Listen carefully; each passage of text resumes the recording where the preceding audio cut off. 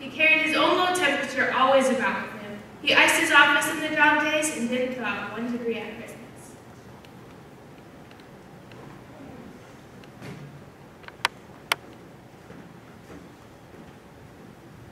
Merry Christmas, Uncle. God save you. Bob Humbug. Christmas, a humbug. Uncle, you don't mean that, I'm sure. I do. Merry Christmas. What right have you to be merry? What reason have you to be merry? You're poor enough. Come then. What right have you to be dismal? What reason have you to be morose? You're rich enough. Ah, humbug. Don't be angry, Uncle. What else can I be? When I live in a world of fools such as this. Merry Christmas. Going about with Merry Christmas. But what's Christmas time to you? The time for paying bills without money. The time for finding yourself a year older and not an hour richer. The time for balancing your books and having every item in them go around a dozen months present a debt against you. If I could have my will, any idiot who goes about with Merry Christmas on his lips should be boiled in his own pudding and buried with a stake of hollow through his heart. Uncle! Nephew, keep Christmas in your way. Let me keep it in mine. Keep it, but you don't keep it. Let me leave it alone then. Much good it'll do you. Much good it's ever done. There are many things from which I have derived good, by which I have not profited from, I dare say. Christmas among the rest. But I am sure I always thought of Christmas time when it does come round. Apart from the veneration due to its circular name of origin, if anything belonging to it can be apart from that, a good time. A kind, forgiving, charitable, pleasant time. The only time I know, in fact, in the long calendar of the year, when men and women seem by one consent to open their shut-up hearts freely and to think of other people as if they really were fellow passengers to the grave, and not another race of creature bound on the journeys. And therefore, Uncle, though it has not put a scrap of gold or silver in my pocket, I believe that it has done me good, and will do me good. And I say, God bless it. One more song from you. You keep your Christmas by losing your situation. You're quite the speaker, sir. I'm surprised you don't go to Parliament. Don't be angry, Uncle. Come, down with us tomorrow. That'll be a cold day. But why? Why? Why did you get married? Because I fell in love. Because I fell in love. Good afternoon. Nay, Uncle, but you never came to see me before that happened. Why give a reason for not coming now? Good afternoon. I am sorry in all my heart to find you so resolute. I, we have never had any quarrel to which I have been a party. But I have paid my trial and homage to Christmas, and I keep my Christmas humor to the last. Good afternoon. So Merry Christmas, Uncle, Good and afternoon. And Happy New Year. Here's another fellow, a clerk, fifteen shillings a week, and a wife and a family talking about a Merry Christmas. I'll retire to bed. Scrooge and Marley's, I believe. Have I the pleasure of addressing Mr. Scrooge, or is it Mr. Marley? Mr. Marley's been dead these seven years. He died seven years ago this very night. We have no doubt in Blue Route is well represented by his surviving partner. At this festive season of the year, Mr. Scrooge, it is more than usually desirable that we should make some slight provision for the poor and destitute, who suffer greatly at this present time. Thousands are in want of common necessaries, hundreds of thousands in want of common comforts, sir. Are there no prisons? Plenty of prisons and Union Workhouses. Are they still in operation? They are still, I wish I could say they were not. And the treadmill and the portalon are still in full vigor.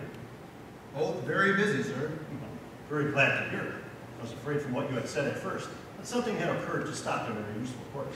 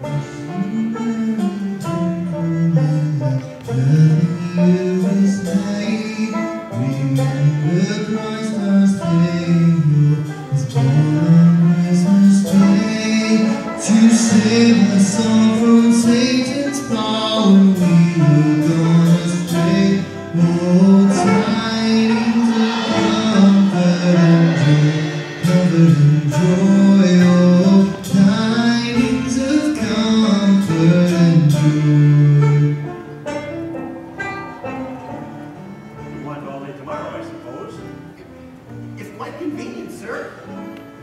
It's not convenient and it's not. If I was to stop a half a crown for it, you'd feel yourself ill-used, wouldn't you? But you would feel me ill-used when I pay a day's wages for no work. But it's only once a year, sir. Poor excuse for picking a man's pocket. The 25th of December. But I suppose we must have a whole day. You're on earlier the next morning. Oh, I promise, sir.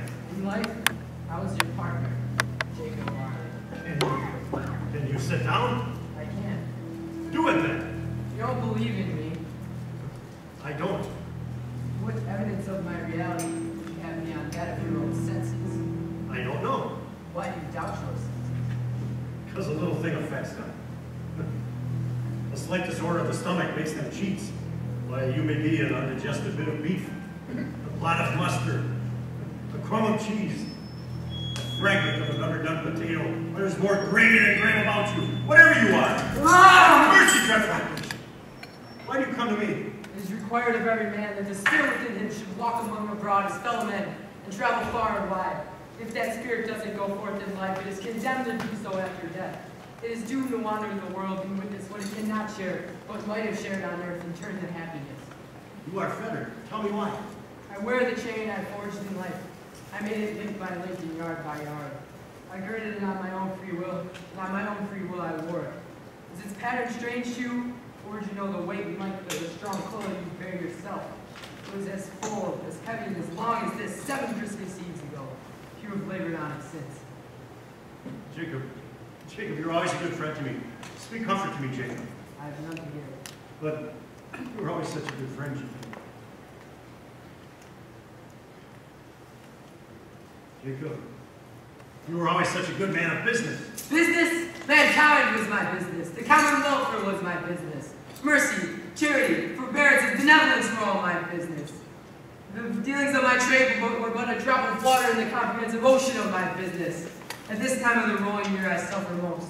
Why did I walk among fellow men with my eyes turned down and never lead them to that blessed star which led the poor wise men to a humble abode? Are there no poor homes to which its light could have shed? Hear me, my time is nearly gone. I will. Don't be too hard on me, Jacob. Don't be flowery. Pray. I am here to warn you that you have a yet you have yet a chance of escaping my fate. Chance, my fearing Ebenezer. Thank you, Jacob. You're a good friend of me, Jacob. You will be visited by three spirits. Is that the chance of hope that you mentioned? It is. I, I think I'd rather not. Without their visits, you cannot hope to shun the path I tread. Expect the first when the bell tolls one, the second when the bell tolls two, the third when the bell tolls again. Couldn't I have all three at once and have it over with? Look to see me no more, and hope that for your sake, you remember what has passed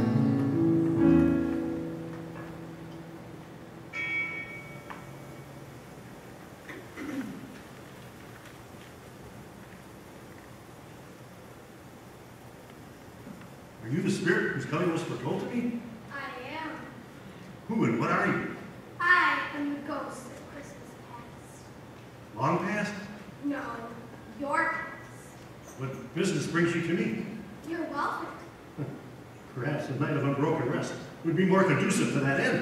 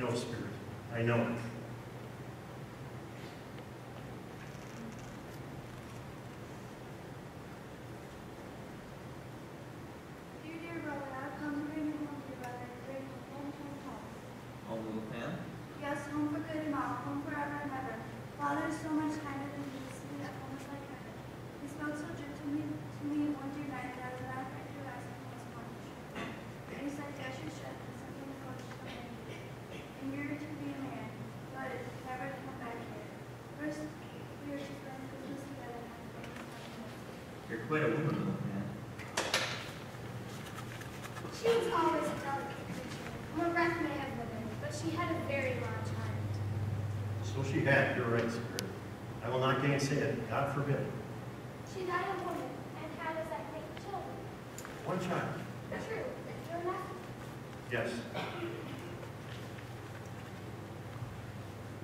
Do you know this door? I was apprenticed here. Why, it's old Fezziwig. Fezziwig alive again. Bless his soul. Yo ho there, Ebenezer. No more work tonight, it's Christmas Eve. Let's have these shutters up before me can see Jack Robinson.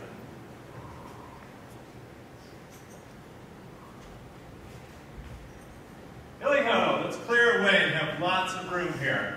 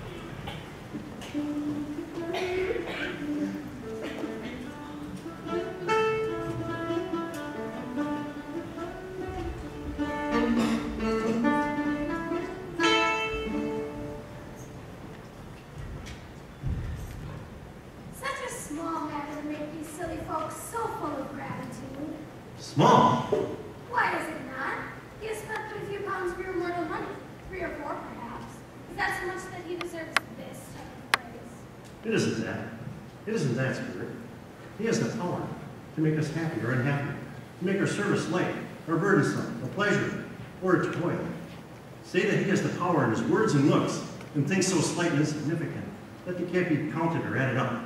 What then? The happiness he gives is quite as great as if it cost What is the matter? nothing particular. Something. I, I should just like to say a word or two to my clerk just now, that's all. My time grows short. Quickly. It matters little very little. Another idol has displaced me. And if it cheer and comfort you in time to come as I would have tried to do, I find no just cause to grieve. What idol has displaced you? Another one? This is the even-handed dealing with the world. There is nothing at which it is so hard as poverty, and nothing you profess to condemn with such severity as the pursuit of wealth. You fear the world too much. All your other hopes have merged into the chance of being beyond its sort of reproach.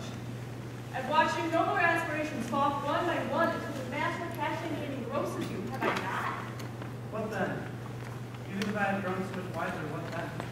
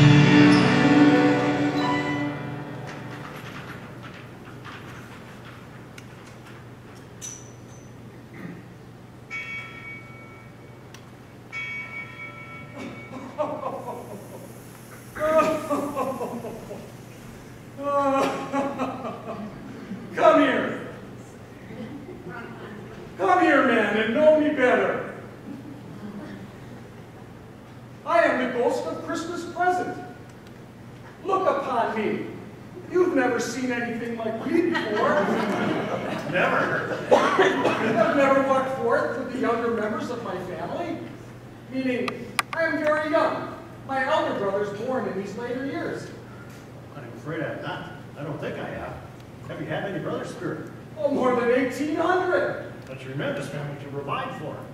Spirit, conduct me where you will. I went forth before I compulsion and learned a lesson which is working on me even now. If you have aught to teach me, let me profit by it. Touch my world.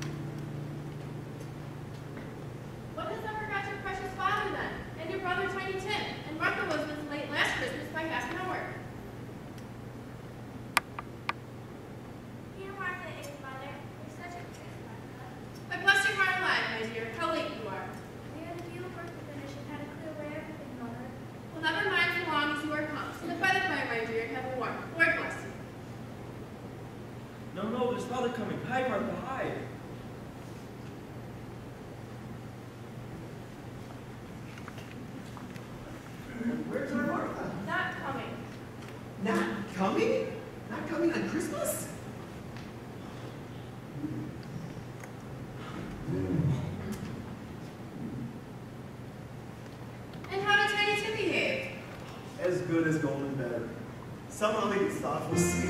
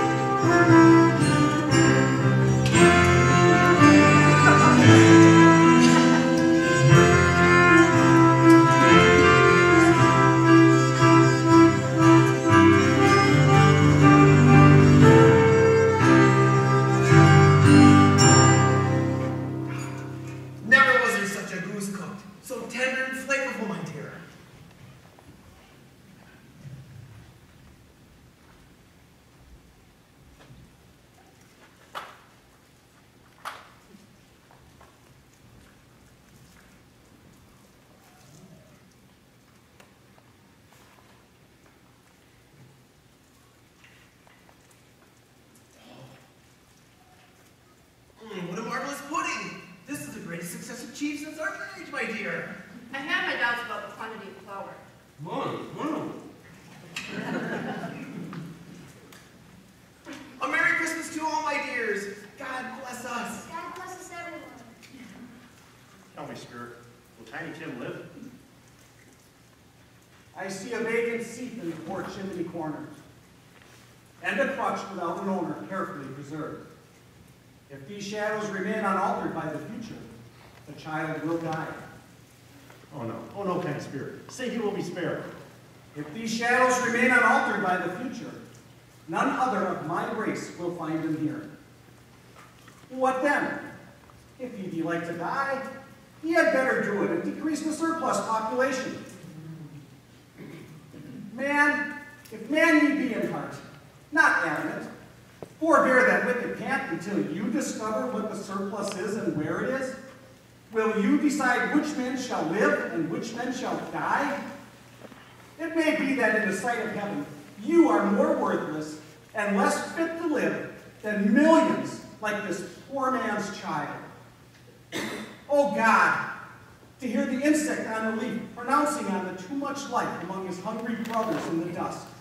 Mr. Scrooge, I give you Mr. Scrooge, the founder of the feast. The founder of the feast, indeed. I wish I had him here. I'd give him a piece of my mind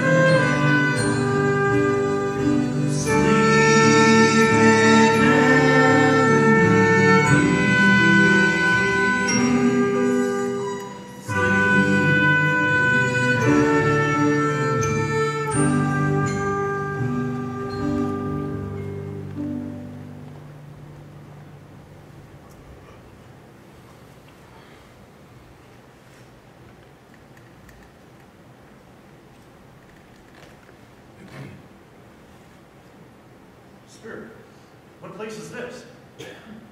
A place where miners live, who labor in the bowels of the earth.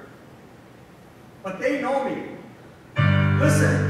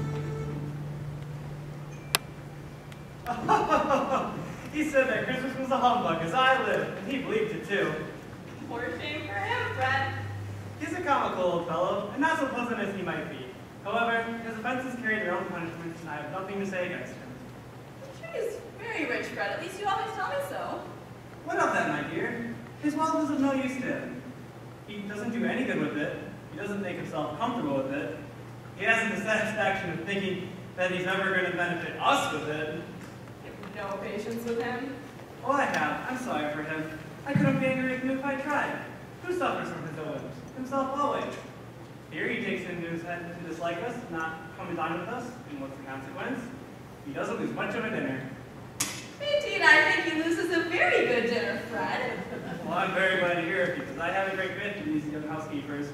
What do you say, Topper? Do go on, Fred. He never finishes what he begins to say. He's such a ridiculous fellow. I was only going to say that the consequences of his taking a dislike to us and not making merry with us is, as I think, that he loses out on some pleasanter moments, which could do him no harm, as I'm sure he loses pleasanter companions in his own thoughts. Why, they're in his moldy old office or his dusty chambers. I mean, to give him the same chance every year, whether he likes it or not. For I pity him. He may at Christmas, he may rail at Christmas till he dies, but he can't help thinking better of it. I defy him. If he finds me going to a good temper year after year and saying, Uncle Scrooge, how are you? If it only puts him in the vein to his poor clerk 50 pounds, back that's something. And I think I should have yesterday.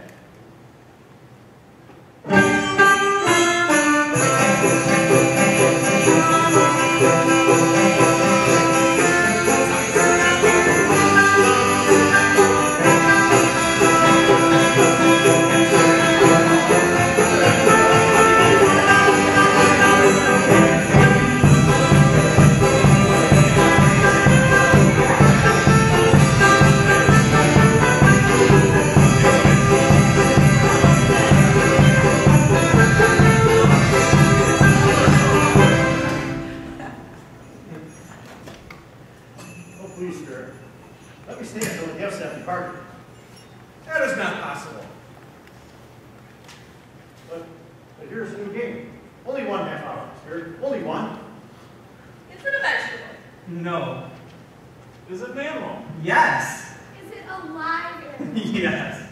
Is it a dangerous animal? Oh, yes. Does it live in the jungle? No. Does it live on the streets of London? Yes. Is it a horse? No. Is it a pig? No. Is it a dog? No. I got it, Fred. I know what it is. What is it? It's your Uncle Scrooge. Oh, he's given us plenty of bourbon, and it would be ungrateful not to drink to his health. Here's a glass of old cider, ready at the hand, and I say, Uncle Scrooge. A Merry Christmas and a Happy New Year to the old man, whatever he is. He wouldn't take it from me, but may he have it nevertheless. Uncle Scrooge. Uncle Scrooge.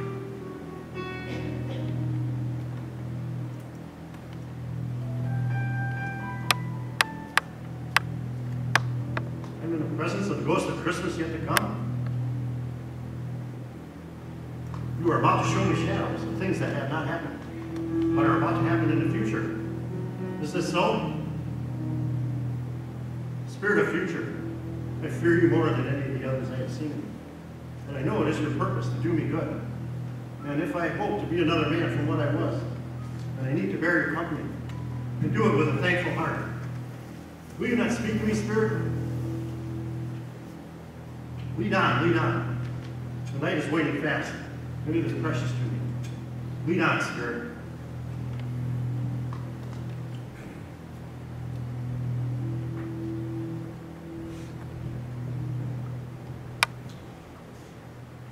No, I don't know much about it either way. I only know he's dead. When did he die? Last night, I believe. Why? What was the matter with him? I thought he'd never die. God knows. What has he done with his money? No, I haven't heard. Um, left it to his company, perhaps. He hasn't left it to me, that's all I know. It's likely to be a very cheap funeral. For of my life, I don't know anybody to go to. Hey, suppose we make up a party and volunteer. I don't mind going on the lunch but I'm lost. Well, I'll offer to go if you will. Come to think of it, I'm not sure I wasn't Mr. Scrooge's most particular friend, for used to stop and speak to me whenever we met.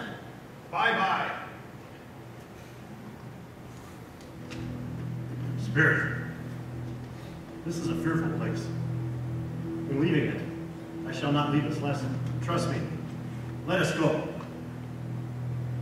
Spirit, I would if I could, but I can't. I have not got the power, Spirit. I haven't got the power. Is there no one in this town who can feel some emotion toward this man's death? Let me see some tenderness connected with this dark chamber or this death, or shall forever be present with me, Spirit.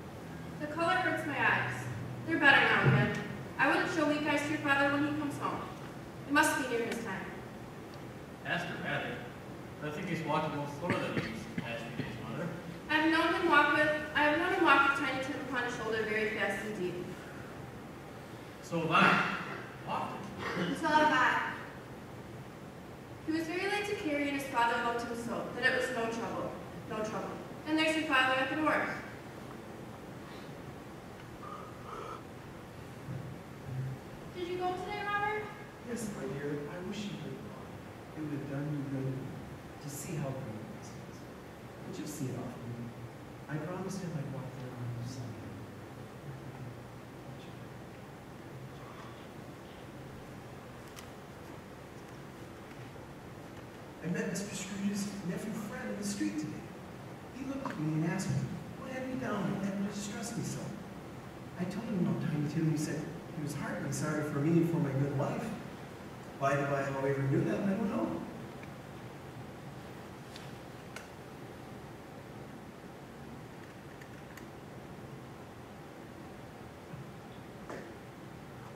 That you were a good wife. Everybody knows that. Oh, very well observed. I hope they do. He said he was heartily sorry for my good wife. If I can be of any service to you in any way, here's my card. Pray come to me. Now, it wasn't for the sake of anything he might be able to do for us, so much as, his first kind way. It was as if he really knew our Tiny Tim felt us. I'm sure he's a good soul. Oh, you would be sure of it if you saw and spoke to him. I shouldn't always be surprised, mark what I say, if you had Peter in a better situation. Only hear that, Peter. Be keeping company with someone setting up for himself. Get on with it. It's just as likely as not, one of these days, though there's plenty of time for that. But however and whenever we part from one another, I'm sure none of us shall forget poor tiny Tim, shall we, or at least people too might was among us. No, Father. And I know, my dears, that when you recollect how patient and how mild he was, although he was only a little child, shall not quarrel easy among ourselves. Look at poor tiny Tim. No, never, Father. Then I am very happy. I am very happy. Spirit, something informs me that our parting moment is at hand. I know it, but I know not how. Tell me, who was that man we saw lying dead? Spirit, this is the place where my employment is and has been for a length of time. I see the house. Let me behold what I shall be in days to come. Spirit, the house is yonder. Why do you point away? Hmm. Spirit, before I draw near to that stone, answer me one question. Are these the things that will be, or are they the things that just might be?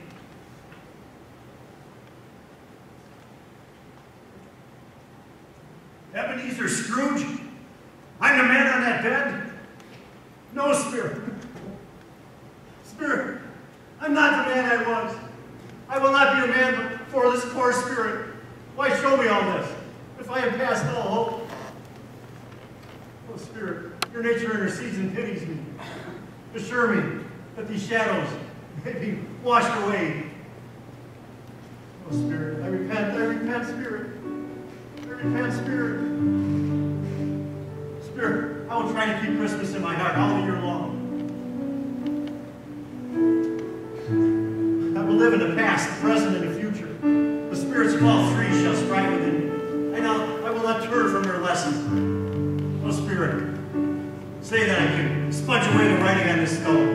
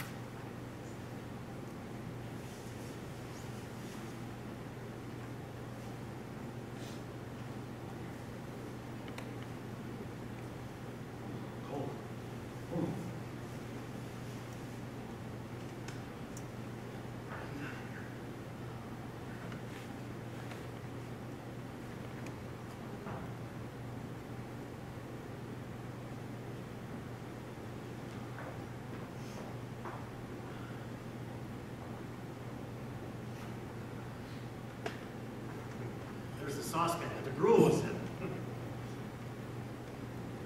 There's the door where I saw the ghost of Jacob Marley. There, there's the corner where I saw the ghost of Christmas present. There's the window where I saw the wandering spirits. It's all right, it's all true. It all happened. Oh, even though I don't know what day of the month it is. I don't know how long I've been amongst the spirits. I don't know anything. I never did know anything, and now I know that I don't know anything. I'm like quite a baby. I don't care. I'd rather be like a baby.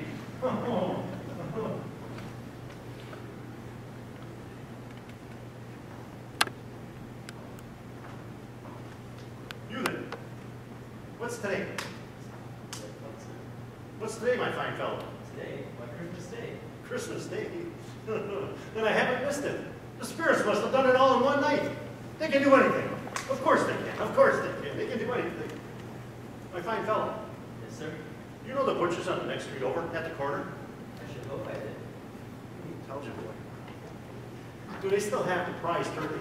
Not the little one, but the big prize turkey. What, the one as big as me? Yes, the one as big as you. Intelligent boy. Well, go and buy it. You're joking, sir. No, no, I'm in earnest. Go there. Tell them to bring it to me.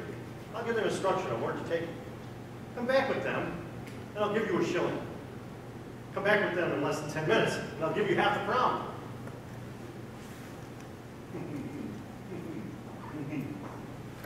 I'll send it to Bobby Cratchit's. You won't know who sent it. It's twice the size of Tiny Tim.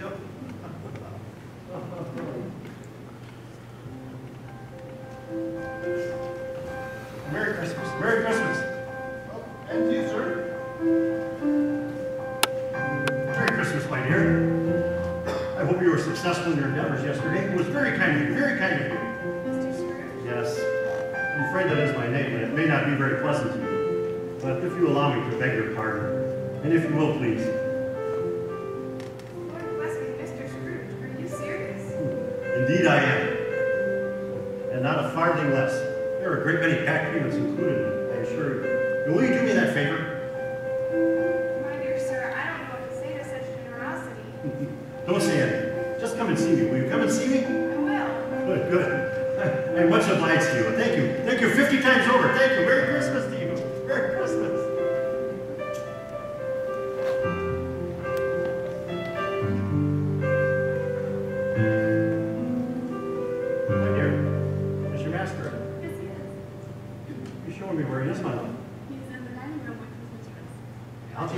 no, I'll just go. He knows me. I'll just go. Thank you. Fred? Uncle, is that you? It is I, your Uncle Scrooge. I have come for dinner. Will you let me?